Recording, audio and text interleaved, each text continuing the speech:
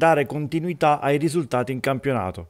Questo è il compito affidato a mister Caneo dopo la brillante vittoria di sabato scorso a Foggia e la sfortunata parentesi di Coppa Italia.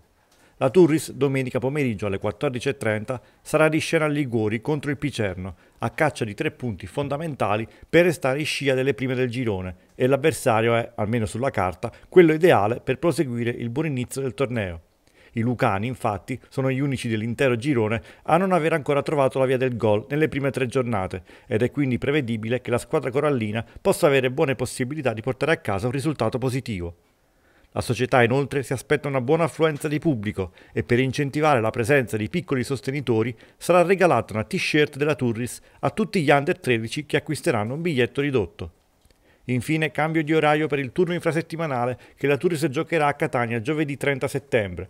Le due società si sono accordate per anticipare il fischio d'inizio del match alle 14.30 anziché alle 21.